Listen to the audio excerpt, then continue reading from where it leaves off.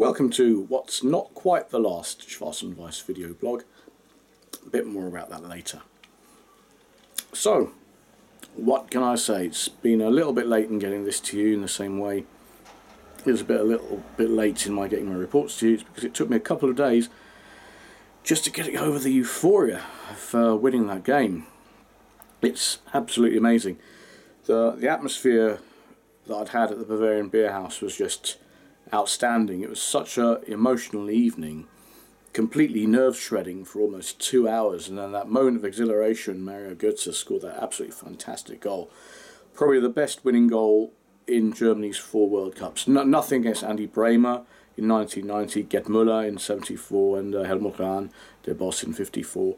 But that was just out of this world. The, the way how it actually came about, the skill, the turn, the shot, amazing. So uh, took me a couple of days to get over it. Props, by the way, to the Bavarian Beer House for putting up a really good atmosphere and making it a great evening for all concerned. Of course, we have to thank the team for delivering the, the final piece to that puzzle, and uh, it's unbelievable. I'm wearing a shirt now that's now out of date. It's got three stars on it. I've ordered my new shirt with the fourth star. Should be coming fairly soon. Also the FIFA Winner Shield. That's what I think. You know, you look at this shirt and you think, looks a little bit weird with this chevron. I think the designers had a long-term plan in mind because when you put that FIFA Winner Shield here, it looks absolutely fantastic. You'll see that I'll probably post up a video with that new shirt once I receive it. So, what can I say about the game? First half, end to end, Argentinians far more attacking than I thought they would be.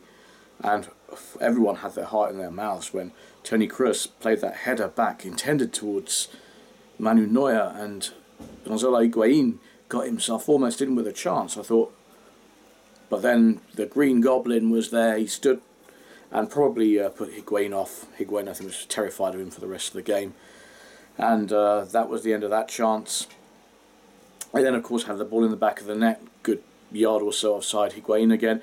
And you got this feeling it wasn't going to be Argentina's day. And uh, as the game wore on, things were even out. It was a real war of attrition. And then, second half, not very many chances made. Andre Schürrle made uh, Romero make a couple of saves over the course of uh, the 90 minutes in the first part of extra time. But Argentina then started to really close things down, and you could see they were parking that big blue bus. They looked a little bit like Chelsea in a way. And of course, when I think of Chelsea, it reminded me of a really horrible day back in May 2012. So there was this big blue box, bus beginning to reverse into position, and you think, this is going to be penalties. I can't take this. And of course, the, National Mannschaft have won the last four penalty shootouts they've been in in World Cup finals, and you think, well, you know what? If that something bad is going to happen, it's going to happen at some point, and you know what? It's going to be a World Cup final, isn't it? I just really didn't want penalties. In the past, you think when Germany are playing, they've got these five solid penalty takers. And I've said it before in my blog when I wrote an article which I might have uh, posted up to the Bundesliga Fanatic. It was actually re aired a week or so ago, just before the semi final against Brazil. And I voiced my fear in that that this new current bunch of German players, because they've seen as more skillful, more light on the ball with a slightly silkier touch and that kind of almost Brazilian style. The negative aspect of this is that when it comes to solidity and your your basics like penalties, there's there are going to be slight problems. Then we've seen this. We saw this with FC Bayern, of course, with uh, some bad penalty misses.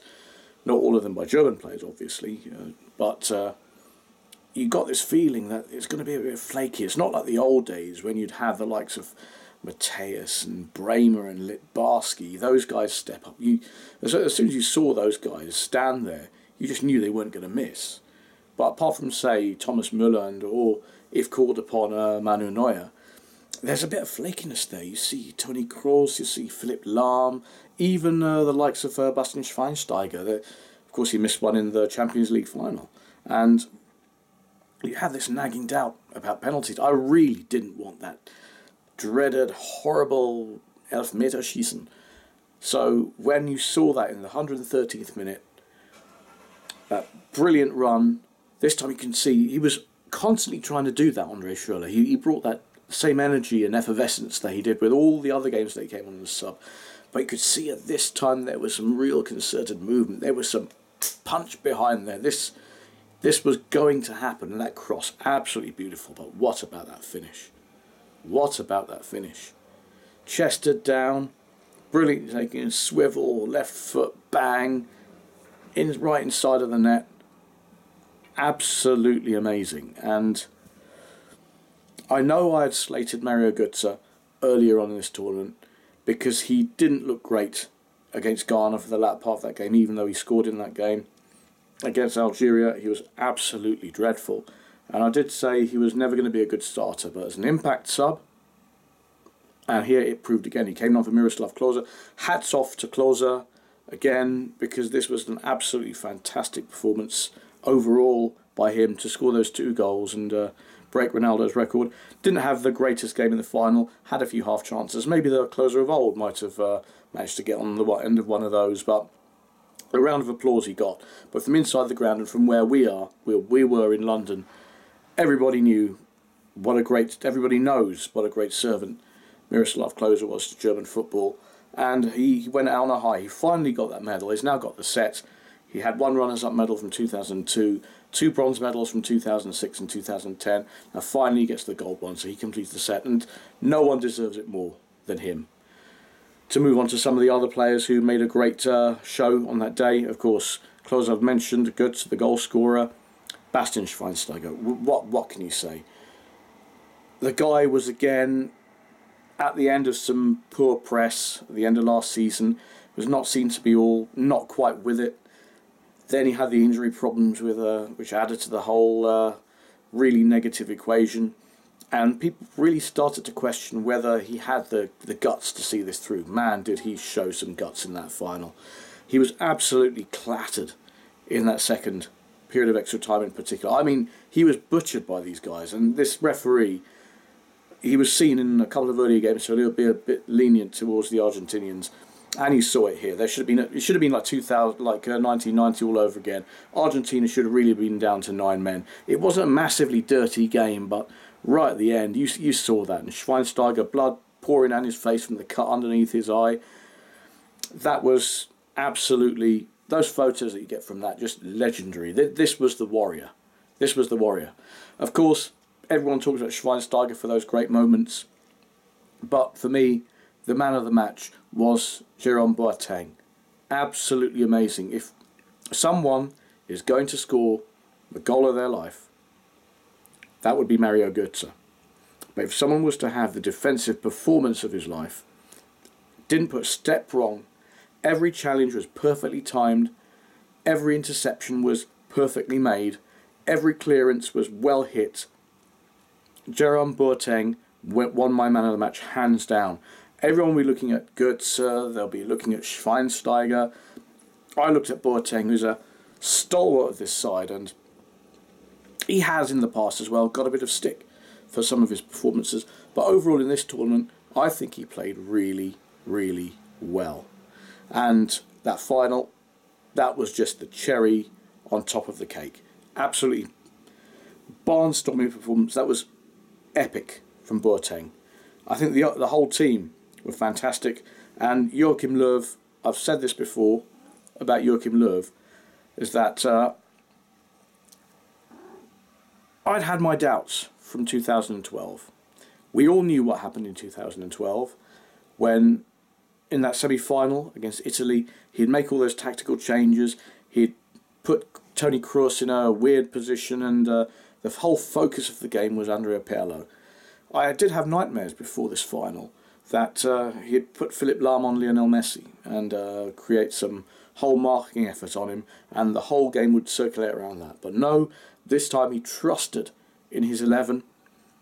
Well, what would have been the 11 were it not for the unfortunate pre-match injury to Sami Khedira. I thought, oh no, not not again. We're not going to have this again. But the team showed what a strong team they were.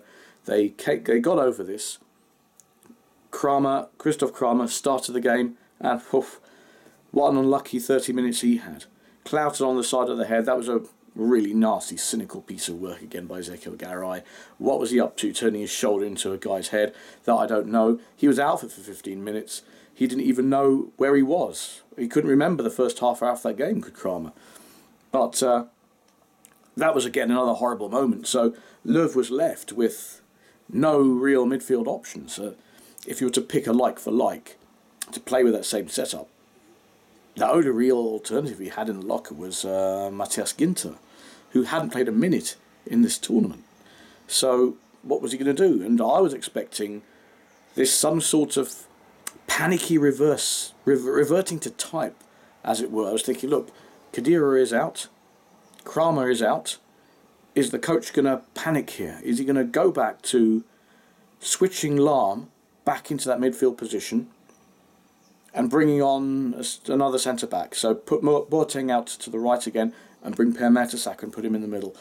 When I saw that board go up with uh, Kramer's number on it, I was expecting to see that number 17 appear on the other side. When I saw the number 9, I was just. That was the moment for me. I've, I've said this in the report that you might have read already, but this for me was the epiphany. This was the epiphany that Jogi Löw had finally understood that the criticism of him was not directed at him, perhaps personally, but at the way he had been wedded to his previous ideas this 4 3 3, playing Lahm in the centre for the defensive midfield. This proved that, yeah, he had listened. And when Andre Schürrle came on, and we knew what would happen then, Toni Kroos would drop back a little bit deeper into that more defensive position. Mesut Ozil would go into a more reasonable, what I'd say, more a happier position for him in the middle of the mid- uh, offensive midfield. Schürrle would step out left, and Thomas Müller on the right, so with a Miro Klose up front. And I thought this was really bold. This was positive, and this was bold without being stupid. And that was the moment that, you know what? I fell in love with those tactics at that moment. Of course, I think the the coach will return to the four three three. He'll return to bringing Lahm back into that uh, midfielder's role again. I'm sure he will. But at this point in time, to win this tournament against this opposition under that pressure, to respond like that and not revert to type, I'd take my hat off to the Maharishi Yogi. And I will still never move away from my seeing him as the Maharishi Yogi but this time, yeah, I will. I'll concede perhaps he is smarter than the average bear. This yogi, and uh, hats off to him again. And uh, I did say this in a previous blog that uh, if we win this tournament, in fact, you know what? I said this at the time of the Algeria game when we were still playing 4 3 3. But I did say at the time, and I'll hold true to this, they'll eat my hat if we came through this and won this tournament. Now, of course, I'm not going to eat my hat literally because that would be stupid. For for some, it'd be a waste of a hat and it would be a waste of money. So, w- one of my uh, keen readers, Anna, has uh, is is really pressing me on my eating my hat. So I've told her I'm not going to eat my hat quite literally. It's uh, more of a symbolic thing. So I'm probably going to make a shape of a hat out of a pie. So I'll make a hat and I will eat it and I will apologise profusely to Yogi Löw, to the Maharishi Yogi, for doubting him. Because he, in the end, pulled it through and we have now got that fourth star which we can rightly place on top of the Adler here. We have now won it the same amount of times as Italy and 2018 in Russia. Let's go on and get that finish down and let's uh, match Brazil. Because I think this team has now got the makings of a great team. 2016, we can go on and win the European Championships. 2018, yeah, a few of the older guys might retire by then, say the likes of Schweinsteiger, the likes of Lahm, but we'll still have the likes of Thomas Müller, we'll have Schürrle, we'll have Mario Götze, we'll have Julian Draxler, and we'll have all the stream of great youngsters that are coming through at the moment. And this is an ongoing stream. And I really do think that, like Spain did between 2008 and 2012, with the three major tournaments in a row, I really do think this Germany team can really dominate the game if they stick to their guns and play this with the same style and use the same approach. We can take this success through. Jogi Löw could win the European Championship in 2016. That would then make him one of the most probably, in terms of overall results, the most successful national trainer ever. I take him ahead of Helmut Schön. Helmut Schön, of course, won the two trophies. He won the European Championships in 72 and he won the World Cup in 74 and was a runner-up in the World in the European Championships in 76. But Jogi Löw has uh, now taken Germany to two World Cups, achieved a third place and a winner's medal, a semi-final in another one, and a runner-up spot in 2008. So overall, if he can take the team to what is projected to be his last tour of duty in France in 2016, I think we should definitely qualify for that. The qualifying criteria now is so easy. I think this German team can probably qualify with uh, both legs tied together and one hand tied behind their backs. Given the qualification, it's top three. It's absolutely ridiculous. So there's no issue of us not making the finals in France in 2016. So if the tournament is the way it works out and Germany win it, Joachim Löw can happily retire and say to all of the doubters, and I will include myself amongst those doubters, you know what? I was right in the end. And uh, I would have no argument with that because all I want to see is this team win. And that's what I wanted to see this year. Löw, he changed his tactics, he adapted them. He didn't quite say, I'm giving up to you, the media and the fans and all the naysayers and all the complainers. He took the criticism, he took it openly, he took it honestly, changed the formation, then he stuck with where he was going. He knew what the mission was, and the mission has been achieved. The fourth star has been won. Germany are world champions, and let's just bask in that glory. So you might see a few more videos from me as the summer goes on. You'll certainly see a lot more articles as we uh, start uh, analysing the World Cup and we start uh, digging about. You'll see a few features. I've got a feature planned for one on Joachim Löw, one on Bastian Schweinsteiger. Of course, you probably have read the feature already on Thomas Müller. And I might even uh, do one on Mario Götze if I have the time to. Based around all the time I have and all the other projects, it's going to be a bit busy, but uh, I'll certainly try and keep things up to date. So, until the hat eating episode, which you'll probably see in the next couple of days, I will say sit back, enjoy wherever you are. This is absolutely fantastic weather where I am at the moment, so hopefully it's the same where you are. So enjoy. You probably endured 20 minutes of me babbling away, so now have a nice chilled beer now, relax, enjoy the rest of the day. So until next time, viel Glück und bis bald. Wir sind Weltmeister. Ciao.